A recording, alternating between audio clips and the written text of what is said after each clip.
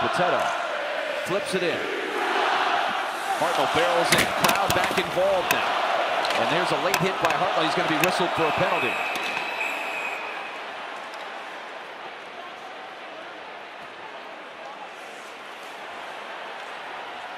So Hartnell being ushered towards the bench, and we've got a man down for the Sabres.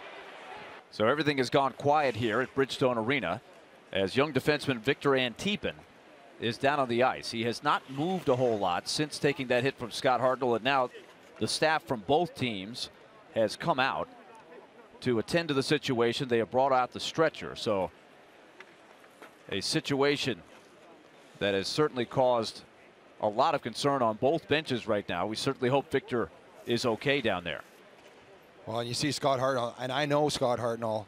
I played with him. He plays the game hard, but in, in no sense does he ever, ever want to hurt somebody. And there's nobody in this building right now that feels that feels worse than Scott. I can I can assure you that.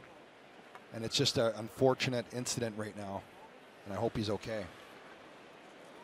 So within a minute or so of Buffalo's training staff coming out. They called for the stretcher, which is over nearby. Now the the important thing is to make sure he gets aboard the stretcher safely and can get some further medical treatment and medical attention.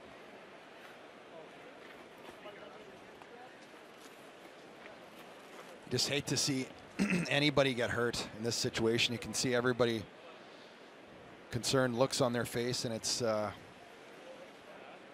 Nobody wants to ever see anybody get hurt. You want to play hard, play between the whistles, do what you can do. When somebody gets hurt, it's it's a different thing. Everybody, you see both staffs working together.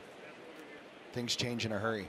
And they're getting him strapped to the backboard right now, and then they will attempt to get him back up onto the stretcher using the backboard. They want to make sure he's secure. Victor Antipin, a free agent signing last year. He is a rookie. He's played in 48 games this season with 10 assists for this Buffalo Sabres team. And so both teams and 17,000 plus still looking on with lots of concern. So they're going to bring in the stretcher here. And the crowd with encouragement and applause it hurts certainly some positive hopes, hoping that Victor Antipin is going to be okay. Phil Housley, I'm sure, sharing in that.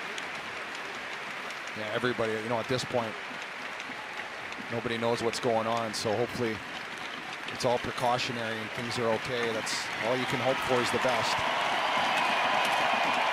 There's some blood on the ice. And they wheel Antipin towards the other end.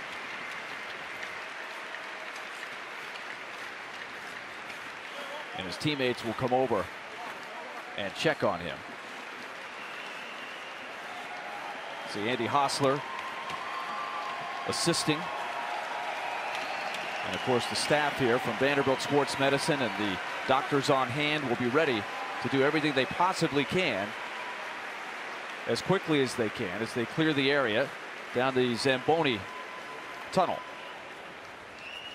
And Scott Hartnell waited until he got all the way down the ice before he went back into the dressing room. Let's take another look. And here it is. Here's Scott Antipin with the puck. Just gets rid of it and it doesn't look that bad. I, I don't know. It's maybe we'll see here a closer view. His head, oh, his neck goes and then it hits the glass there. Just contact from the back side there it's a tough. It's just I, you hate to see anybody get hurt. And he went down and he didn't he didn't move much after that hit. He was pretty uh, he was pretty still until until the medical staff got out there.